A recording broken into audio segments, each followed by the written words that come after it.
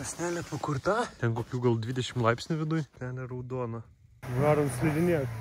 Čia varom tai kaip koks ralio etapas.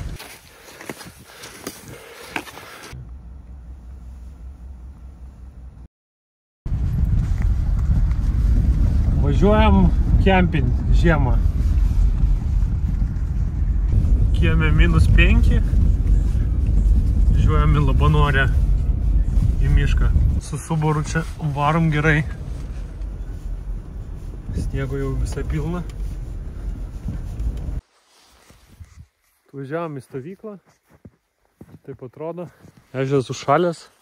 Matosi, kad vaikšto palei kraštus kažkokių žvėjų, bet, bet ledas dar nelabai čia. Nu ką, pastatėm palapinę. Liko krosnelę pastatyti. Čia taip viduj. O čia išoriai vaizdas. Tylu, ramu. Krasnelė pakurta. Pupiški. Šiaip efektyviausiai, kiek bandėm, tai su briketais tais yra visgi. Jie ilgiausiai dega, mažiausiai juos reikia dėti. Kažkus uh, nepatogu, kad juos tasytis reikia, bet šiandien pasivaikščioti, ten mūsų palapinė palikta. Einam čia toliau, čia džipo važiuota. Ir čia kažkas kitas kempino. Nes irgi matosi grinai palapinės va apkasta, panašaus dydžio palapinė. Čia šiandien ir būta. Tai kažkokie kaimynai va. Mūsų ten. O čia kažkas kitas. Jeigu kas žinot, kas čia kempina, tai parašykit. Dar su Luku ėjom, kalbėjom, kad tik žiemą Labanorė vietos dabar yra kempinti. Tai tuoj panašu, kad ir žiemą net bus vietos, kur kempinti. Sėdėm viduj, visai vėsų kieme. Užsidarėm, arbatą gaminamės. šilas toks 8 vakaro. Tai jau keletą valandų sėdėm tai palapiniai. Palapiniai šiaip šilta. Išėjus irgi atrodo, kad šilta, bet jeigu pabūni kieme, tai šalta. Tai ten kokių gal 20 laipsnių viduj. Čia išorė apie minus 5. Čia taip va, viduj. Krasnelė. Sėdim čia kaip tūzai. Nu ką, ruošiamės miegu jau. Yra po 10, o dar atsinešėm briketų. Čia va Luko guolis. Čia va mano guolis. Dvigubas mėgmaišis. Du kilimėliai. Kad dvigubas mėgmaišis, pas tave penki sluoksniai mėgojimo.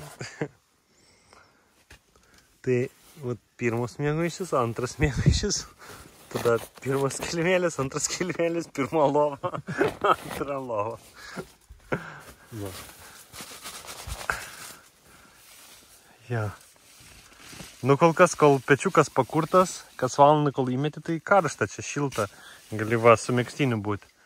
Bet kai, kai atviesta, užgesta, tai toksai vaibelis pasidaro šaltokas.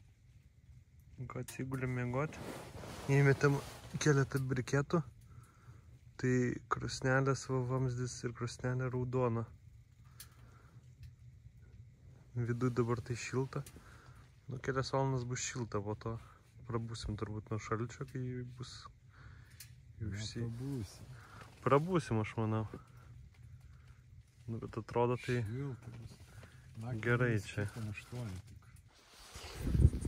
Ką, 8 ryto atsikėlėm.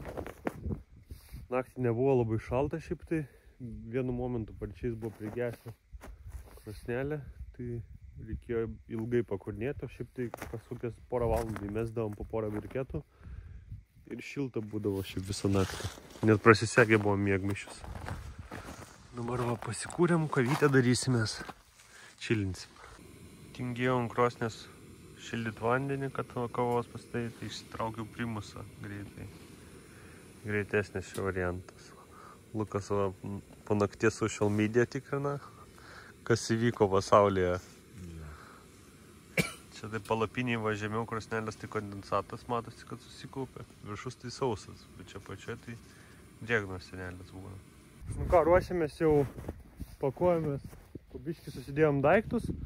A, Tai va, liko sukrauti palapinę ir važiuosim dar slidinėti nemenčinę.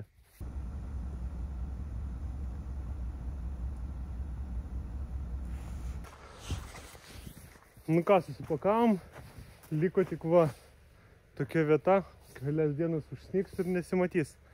Tai, žodžiu, dabar į nemenčinę varom slidinėti. Lukas dar su Subaru turbūt paslidinės. Čia varom tai kaip koks ralio etapas.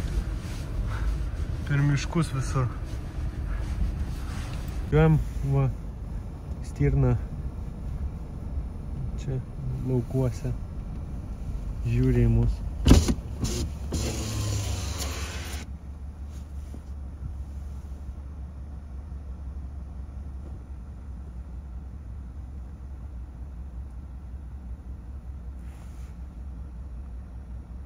gražiai dabar išėjo.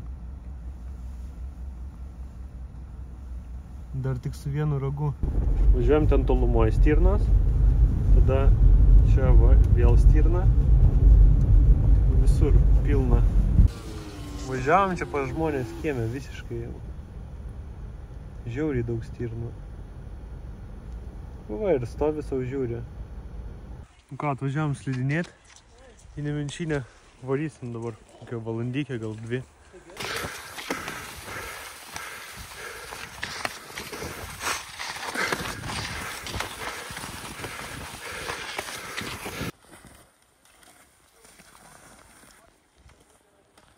Nu ką, paslidinėjom. Ačiū, kad žiūrėjot. Pasubscribinkit, palaikinkit, pakomentuokit kažką tai ir iki kitų kartų. Viso.